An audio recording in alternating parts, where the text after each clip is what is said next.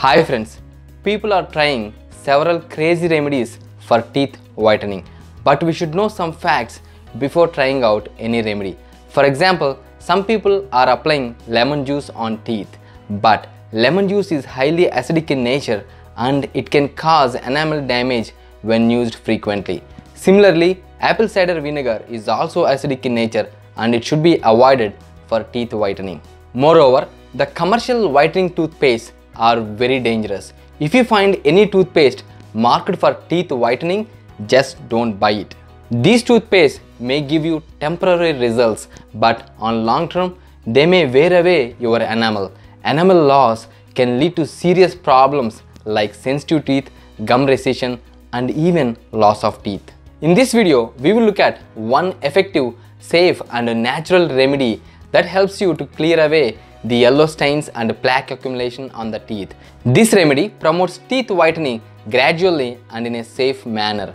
Also, this remedy can strengthen the teeth enamel. Let's see how to make this. For this, we need bentonite clay. Bentonite clay is one healing remedy from Mother Earth. It has capabilities to remove toxins and impurities like bacteria, fungus and virus. That way it prevents tooth decay and removes plaque which is responsible for yellow teeth. Not only that, this mineral rich clay builds enamel by remineralizing the tooth. So this is one safe way to get teeth whitening while increasing enamel strength. Baking soda. Baking soda removes the yellow biofilm on teeth which is formed by bacteria.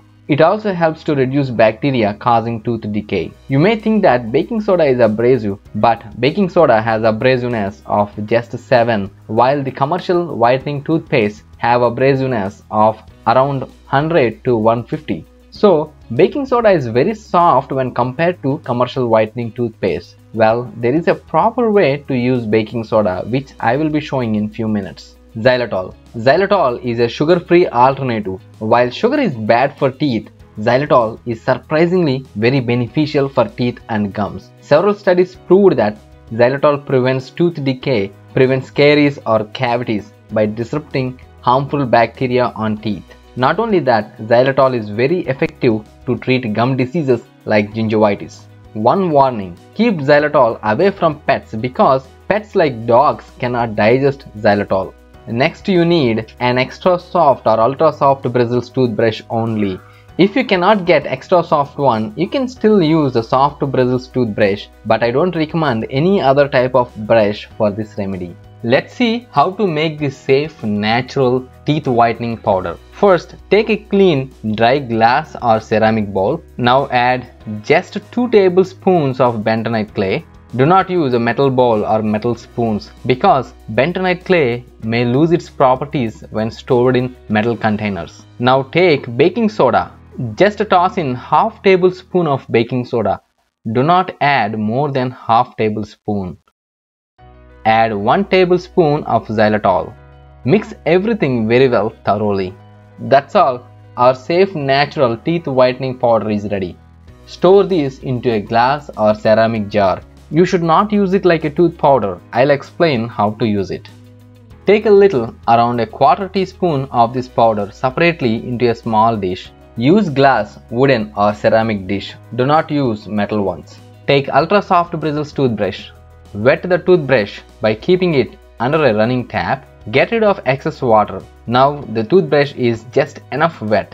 Dip the brush slowly in the powder and grab some powder with it. Spread this powder slowly on teeth, covering all the teeth. For the first 1 minute do not brush, just leave it on like that. This increases mineralization of teeth. After 1 minute, gently roll your brush slowly covering the teeth for around 1 minute.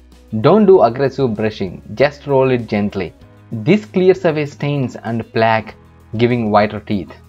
Now rinse off with fresh water. This will not replace your normal brushing.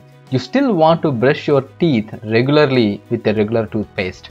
Do this 2 minute remedy once daily right after your normal brushing. You can do this in the morning or at night. Thank you. Please like our video and subscribe. Tap on bell notification to get more interesting videos.